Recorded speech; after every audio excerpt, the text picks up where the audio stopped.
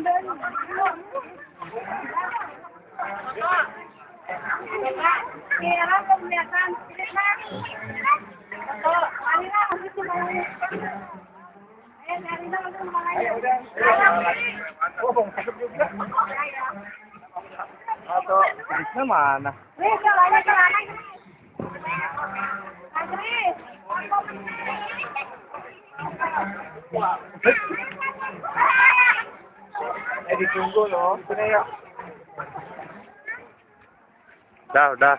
Atau dua.